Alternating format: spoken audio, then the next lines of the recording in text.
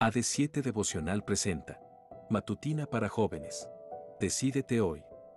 La devocional de hoy, 11 de mayo de 2024, se titula Los errores de Pedro.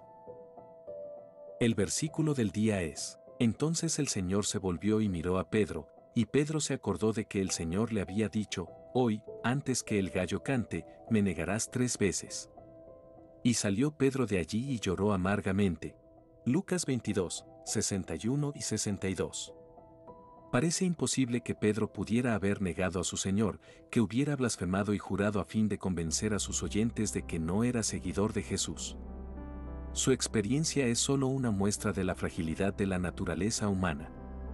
Estaban juzgando a su maestro, su esfuerzo por defenderlo había sido censurado, sus discípulos estaban en peligro, entonces, atemorizado y frustrado, vaciló.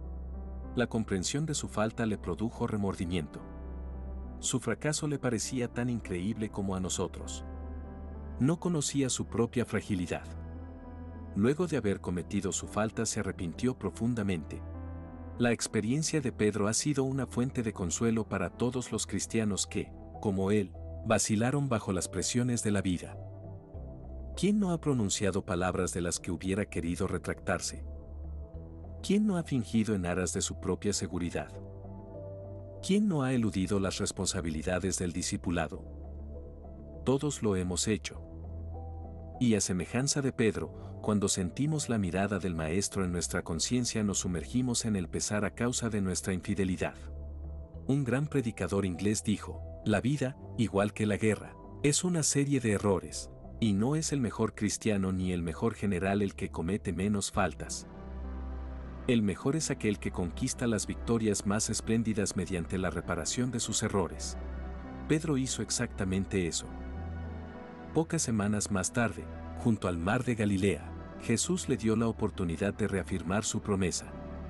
Entonces vemos a Pedro predicar en Pentecostés como intrépido dirigente de la iglesia.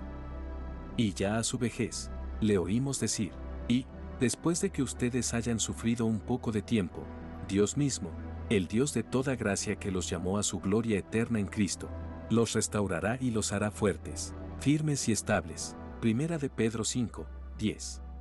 Tal vez, como Pedro, has faltado a tus votos de fidelidad a Dios. Has transigido en medio de la prueba y tu comportamiento ha sido muy distinto del que cabría esperar de un cristiano. Hoy tienes la oportunidad de enmendar tus faltas y ser restaurado por Jesús. Gracias por escuchar.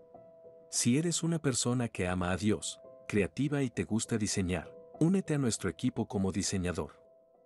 Nos puedes enviar un mensaje por Instagram para más información. No olvides que puedes interactuar con nosotros a través de nuestras redes sociales en Facebook, YouTube, Instagram como AD7 Devocional.